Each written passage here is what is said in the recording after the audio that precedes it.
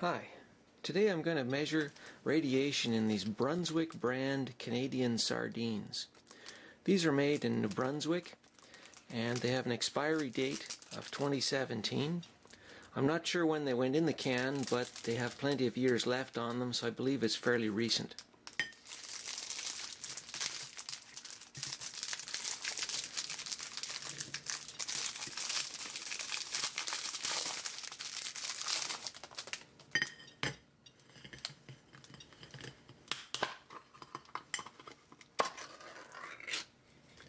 So these are Tabasco flavored sardines. You can see there's a Tabasco right there.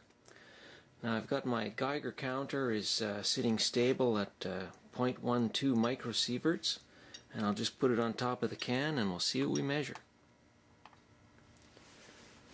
Now this isn't the greatest way to be measuring radiation in food.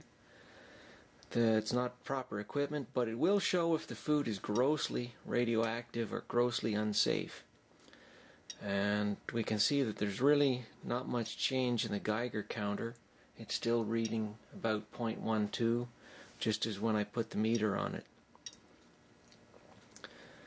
So it looks to me like uh, from a radiation point of view these Brunswick brand sardines are pretty good.